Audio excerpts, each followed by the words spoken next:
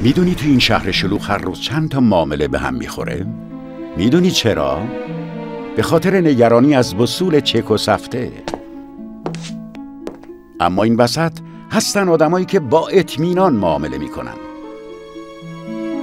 با براتکارت تضمینی بانک صادرات ایران این براتکارت از این دست به اون دست میچرخه و قفل هر معامله ای رو باز می‌کنه بانک صادرات ایران در خدمت مردم.